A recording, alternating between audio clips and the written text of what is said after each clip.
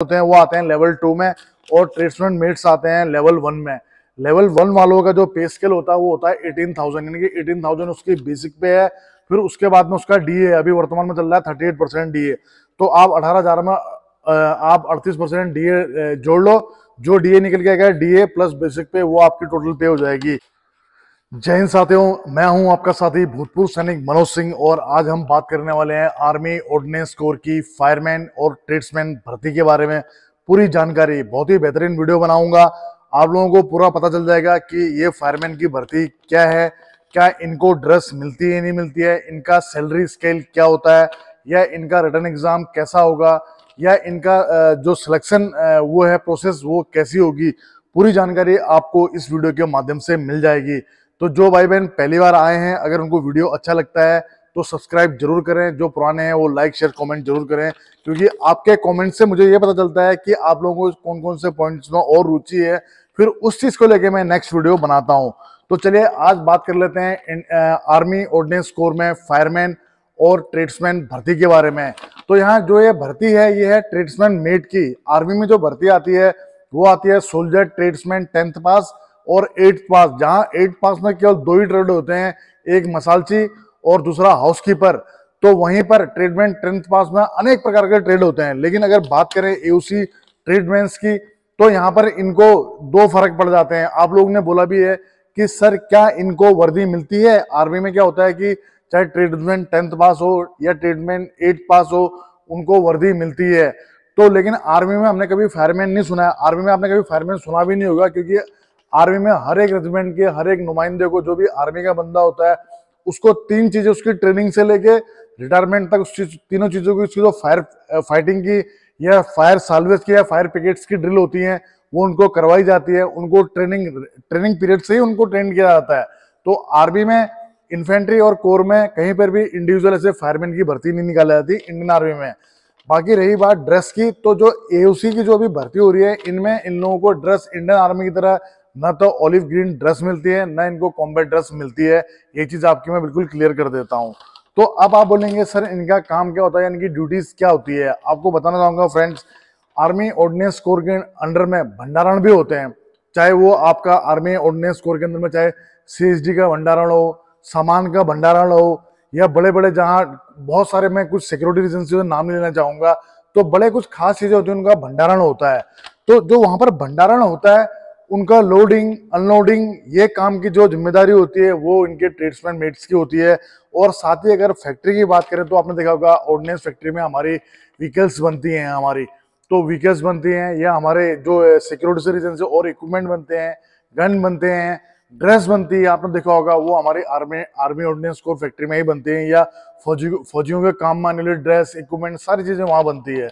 तो जो सामान की लोडिंग अनलोडिंग है तो ये काम होता है ट्रेड्समैन मेट का। अब फायरमैन का काम भी सेम इनसे मिलता जुलता ये होता है कि इन स्टोर पे इन लोगों की ड्यूटियाँ लगती है। खुदा ना खास्ता कभी कोई आग आगजनी हो जाए, कुछ हो जाए तो आग फायर फाइटिंग पे कैसे कंट्रोल किया जाना चाहिए? आग लगी तो कैसे कंट्रोल किया जाना चाहिए? या आग की लपेटों में कोई घिर गया है तो उसको सेफ्टी के साथ में कैसे सुरक्षित बाहर निकालना चाहिए? ये इनका मुख्य काम होता है। तो चलिए बात कर लेते हैं कि अब पोस्ट कितनी है। अगर पोस्ट की बात करूँ तो पोस्ट है इसमें टोटल सत्रह सौ तिरानबे पोस्ट हैं, ठीक है? और जो एज का क्राइटेरिया है, वो है eighteen years to twenty five और जो फॉर्म भरे हैं, आप लोगों का ये भी रहता है कि सर फॉर्म कितने लोगों ने भरे हैं? तकरीबन अठारह लोग, लोगों ने फॉर्म भरे हैं। फॉर्म भरने का क्राइटेरिया से आप बिल्कुल घबराए ना कि इतने ज़्यादा फॉर्म भरे हैं तो कंपटीशन बहुत टफ होगा। ऐसा नहीं है, मुश्किल से इसमें डेढ़ दो लाख लोग आएँगे, ज़्यादा से ज़्यादा। तो कोई दिक्कत वाली बात है नहीं। और इनमें से पहले फ़ेज़ से जो सेकेंड फ़ेज़ में आएँगे, वो पचहत्तर परसेंट होंगे। यानी कि आपका जो फ़िज़िकल जो पहले होगा उसमें से पचहत्तर परसेंट लोगों को सेकेंड फ़ेज़ में लिया जाएगा, ठीक है? तो आप जो फ़िज़िकल में आप बिल्कुल बेहतर तैयारी करें फ़िज़िकल कोई ज़्यादा कुछ, इसका कुछ हार्ड है नहीं तो फ़िज़िकल के लेके मैंने कुछ ज़्यादा खास, मैंने वीडियो बनाई नहीं है, क्योंकि डेढ़ किलोमीटर की इसमें दौड़ जो आपको छह मिनट में आनी है, और फिफ्टी के के वेट के साथ में आपको टू हंड्रेड मीटर दौड़ना है। फ़िज़िकल क्राइटेरिया आपने सबने देख ही लिया होगा, ज़्यादा इसमें बोल के वीडियो को लंबा ना करें तो फ़िज़िकल इतना कोई हार्ड नहीं है। एक वर्टिकल ड्रॉप होता है, जिसमें कि आपको तीन मीटर चढ़ना पड़ता है, वो भी कोई बड़ी बात नहीं है। साथ ही जो फायरमैन भाई हैं, उनको क्या करना पड़ता है, तकरीबन सिक्सटी टू पॉइंट समथिंग के जी के आदमी को कंधे पर रख के थोड़ा लंबी डिस्टेंस तय करनी पड़ती है। तो फ़िज़िकल कोई ज़्यादा हार्ड नहीं है, लेकिन आपने अच्छा परफॉर्म करना है, ताकि आप उन पचहत्तर परसेंट के क्राइटेरिया में आ जाए, जो सेकंड फ़ेज़ में जाएँगे, यानी कि रिटर्न एग्ज़ाम में। ठीक है? तो काम मैंने आपको बता दिया है कि इनका काम ये होता है, पहले फ़ेज़ में आपका फ़िज़िकल होगा और उसके बाद में फिर आपका सेकंड फ़ेज़ में होगा आपका रिटर्न एग्ज़ाम और रिटर्न एग्ज़ाम जो होंगे आपके, वो चार पार्ट्स का एक पेपर होगा, ठीक है? जिसमें कि आपका जर्नल इंटेलिजेंस और रीजनिंग के आपके 50 क्वेश्चन आएँगे और ये 50 नंबर के ही होंगे। दूसरा पार्ट होगा आपका न्यूमरिकल एटीट्यूड का, इसमें आएँगे आपके 25 क्वेश्चन और 25 नंबर के ये होंगे। थर्ड पार्ट है आपका जनरल इंग्लिश का, इसमें भी आएँगे आपके 25 क्वेश्चन और 25 नंबर के ये क्वेश्चन भी होंगे। और फोर्थ पार्ट है आपका जनरल अवेयरनेस का, इसके आएँगे 50 क्वेश्चन और ये भी 50 मार्क के होंगे। यानी कि आपके टोटल क्वेश्चन हो गए डेढ़ और डेढ़ नंबर के ही आपके होंगे। आपकी मार्किंग भी होगी। यानी कि डेढ़ क्वेश्चन एक, हर एक क्वेश्चन का एक नंबर और नेगेटिव मार्किंग भी है ज़ीरो पॉइंट टू फाइव की इसमें नेगेटिव मार्किंग भी होगी। तो कोई बहुत मतलब ज़बरदस्त एस कोई चीज़ नहीं है कि बहुत कॉम्पिटिशन टफ हो। अच्छी चीज़ें हैं। मैं आपको साथ ही बताऊँगा, इसका पे के भी बताऊँगा अभी आगे की क्या रहता है। तो कहने का मतलब है कि आप आर्मी में रहते हुए काम कर सकते हैं, लेकिन आर्मी की ड्रेस उसमें आपको पहनने को नहीं मिलेगी, ना तो ऑलिव ग्रीन ना आपको कॉम्बैट ड्रेस हाँ आप खाकी ड्रेस पहन सकते हैं। बाकी मैंने जहाँ तक मेरा व्यक्तिगत बात करूँ तो मैंने इन लोगों को बहुत कम ड्रेस में देखा है, ठीक है? तो फायरमैन को ज़रूर देखा है मैंने खाकी ड्रेस में। तो इन लोगों की ये ड्रिल होती रहती है। तो अच्छा ट्रेड है और अच्छा पे स्केल भी है। पे स्केल बहुत अच्छा है इसका। बाहर की अपेक्षा, और ये आते हैं खुद केंद्रीय मतलब केंद्रीय कर्मचारियों में आते हैं ये भी, ठीक है? आप लोगों को ये लगता होगा कि यार स्टेट की वैकेंसी होती होगी, यार नहीं नहीं ये केंद्र के अंदर में आती है। और अगर हम बात करें तो फायरमैन जो फायरमैन होते हैं, वो आते हैं लेवल टू में, और ट्रेड्समैन मेट्स आते हैं लेवल वन में।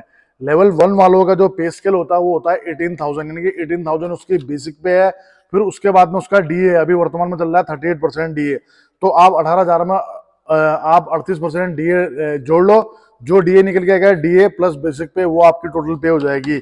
उसी प्रकार लेवल टू के अंदर में आते हैं फायर फायरमैन और फायरमैन का जो बेसिक पे होता है, वो उन्नीस हज़ार नौ सौ रुपए होता है प्लस उसमें थर्टी एट परसेंट आपका डीए आप ऐड कर लो, वो आप लोगों की बन जाएगी टोटल पे स्टार्टिंग में, फिर धीरे धीरे करके आपकी, हर साल आपकी बेसिक पे बढ़ती है। फिर इसी प्रकार आपकी जो सर्विस आगे आगे बढ़ती जाएगी, आपका पे स्केल बढ़ते जाता है। तो अच्छा ट्रेड है और मैं कहता हूँ कि आप लोगों को मेरी अग्रिम शुभकामनाएँ हैं। जल्दी एडमिट कार्ड जारी हो जाएँगे।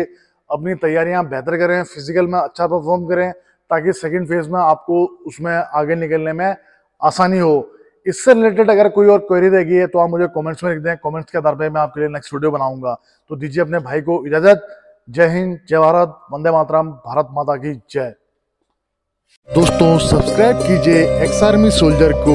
डिफेंस की सबसे सटीक और सबसे आसान भाषा में जानकारी के लिए साथ ही बेल आइकन को प्रेस करें ताकि आपको नोटिफिकेशन सबसे जल्द मिले।